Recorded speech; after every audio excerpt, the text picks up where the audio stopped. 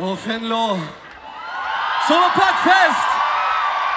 Es ist ein bisschen verwirrend. Wir haben eine kleine, einen kleinen Weg gemacht. Ihr müsst eure Köpfe jetzt mal drehen. Ungefähr, ja, so einfach Richtung von diesem großen Rad. Seht ihr uns? Das komplette Zimmerparkfest. Komplett Venlo. Arme nach oben.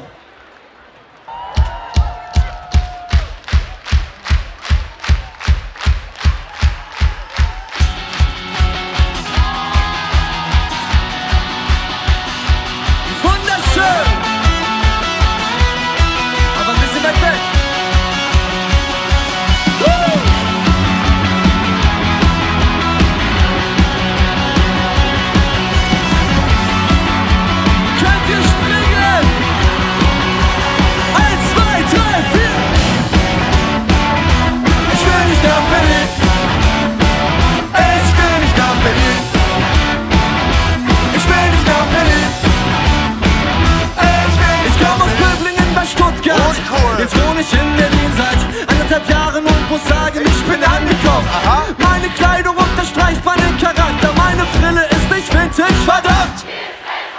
Alte Katze, tote Beutel, ich trinke Club Matzo oder gibt's den Kaffee Latte auch mit Sojamilch? Die